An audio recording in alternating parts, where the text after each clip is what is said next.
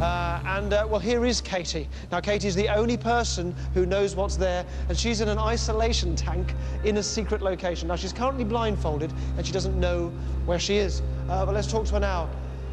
Katie, can you hear me? Yeah, hello, Derren. Hello, nice to see you. I know you can't see us. You can take your blindfold off now. Now, you're going to have a bit of a light shining in your eyes, so just be aware. It might take your eyes a little while to adjust. You don't know where you are, do you? I've got no idea where I am.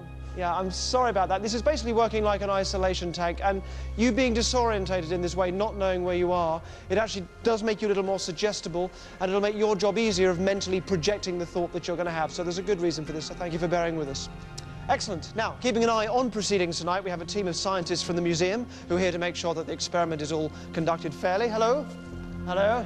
And uh, this is our crowd. Now, you're going to have the same instructions as everyone at home, just to relax and draw whatever comes to mind. It's very important I have not given you any guidance on what to draw, correct? Correct. Lovely. Thank you. All right. So, at home, let's begin remote viewing now. Katie, I'd like to talk to you for a moment. Can you hear me again, Katie? Yeah, hi, Derren. Okay, we're going to begin the process now, Katie. So your instructions are this. We're going to focus in very uh, closely on your eyes. And what I want you to do now, in your mind, Katie, is to begin to mentally project the image that you've drawn.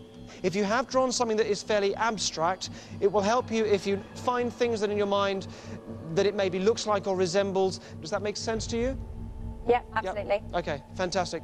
So Katie, just be doing that now. Start mentally projecting that image across the nation and to these people here.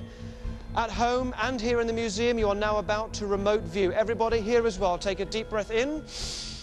Let it out and relax. Now imagine an image of the British Isles on a thin sheet of paper, like a newspaper, in front of you. Now that image is whisked away, and on the next sheet of newspaper, it's an image of the south of England. That is whisked away, and on the next sheet, you can see London, and on the next, the Science Museum, and on the next, this room, and on the next, a big close-up image of that package with a newspaper around it. Start drawing whatever comes to mind. Now, you as well here behind me. For a week, people have been doing this in the museum, and you are now doing it too. The crowd here are starting to draw as well. Don't think about it. You're going to be drawing whatever comes to mind, shapes and designs throughout the commercial break. The ads will actually distract your conscious mind and allow your unconscious, that is the deeper part of you, to come up with ideas. So keep drawing on several sheets. Don't censor yourself.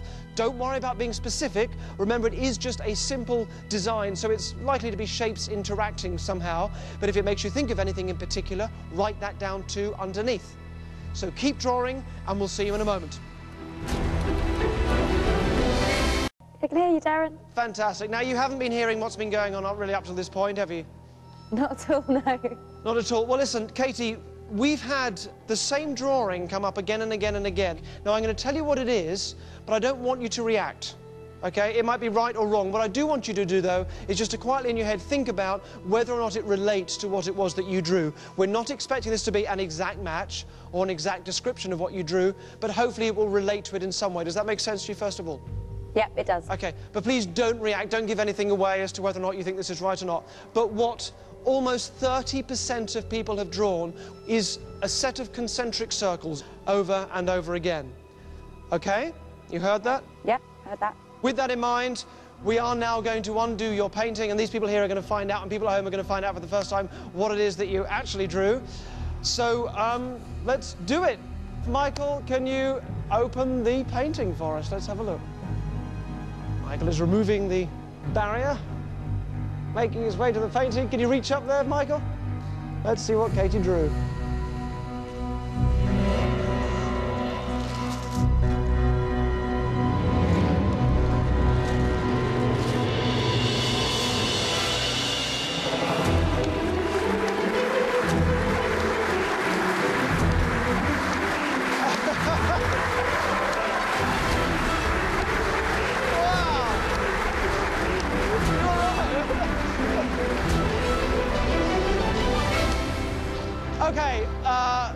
First things first, can you just verify what it was that you drew, uh, Katie? I drew uh, three concentric circles Three concentric circles, and I think you've signed it as well. How did you sign it? uh, with a KM. KM, you initialed it at the side. Can I ask you, as you were sat there thinking of this, you, you did a great job. It obviously worked. Whatever you were doing was fine. Were you, what were you thinking in your mind? Were you just picturing them as circles? Or were you turning them into various pictures? What were you sort of picturing?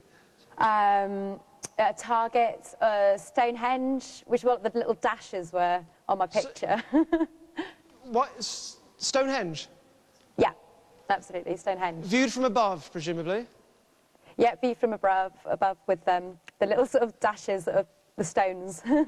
Well, everybody here, I don't know what everyone here is thinking, but the most popular drawn thing was concentric circles. That was 30%. About 10% of people drew Stonehenge.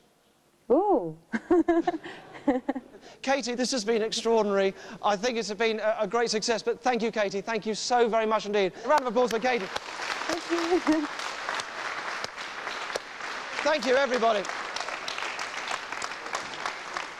Extraordinary. Now, thank you for taking part. Now, you should be able to now see on the screen results coming in from viewers at home. And if this has worked, a lot of them should be saying concentric circles.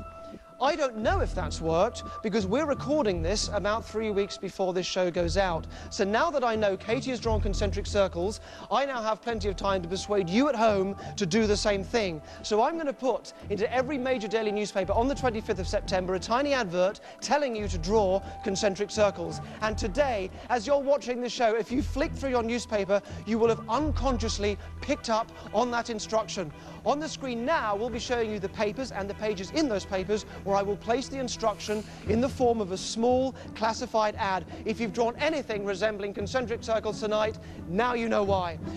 Now, as for why so many people here got it, uh, who knows? And uh, as for what you might have imagined those concentric circles to be, well, that's up to you. Katie pictured them as Stonehenge, and loads of people here, amazingly, did pick up on Stonehenge too. Now, maybe that is just a bizarre coincidence. I'm going to leave that to you to decide. Uh, thank you for taking part. Uh, Katie, I'm so sorry. You still don't even know where you are, do you? no, not at all. No, well, look, you can come out now. Thank you so much. You can come out and get some fresh air.